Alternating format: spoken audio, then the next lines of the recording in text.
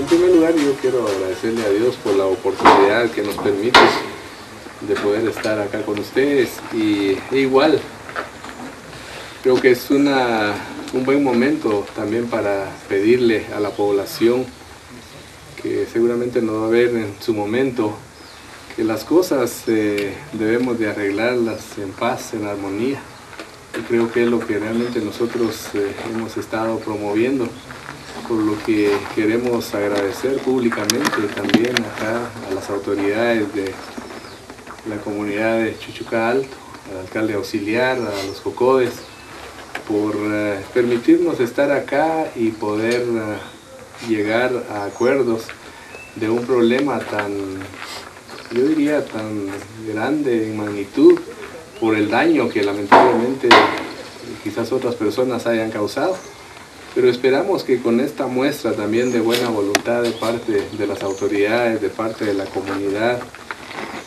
debe ser el inicio de una buena relación, de una buena comunicación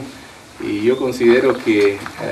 esperamos que no haya ninguna mentalidad, ningún pensamiento de derrota, de decir, bueno, aquí perdimos. Yo quiero dejar claro, aquí nadie realmente ha perdido. Aquí todos de alguna manera somos responsables y debemos realmente procurar, y me gustó bastante lo que decía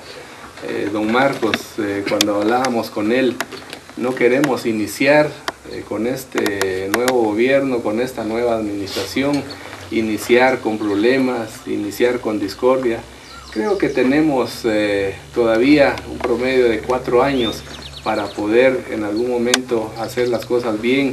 Tenemos tiempo para poder sentarnos y planificar para que todos en algún momento también tengamos la posibilidad. Así que vamos a proceder a leer el acta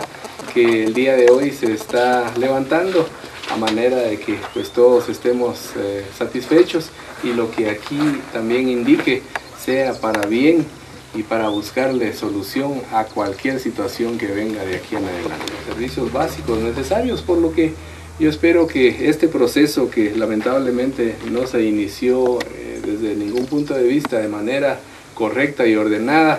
esperamos que más adelante Dios nos dé a nosotros la posibilidad de poder realmente concluir y que esa armonía que hoy realmente nos estamos mostrando pueda también continuarse de aquí en adelante. Así que vamos a proceder a leer el acta que el día de hoy se está levantando a manera de que pues todos estemos eh, satisfechos.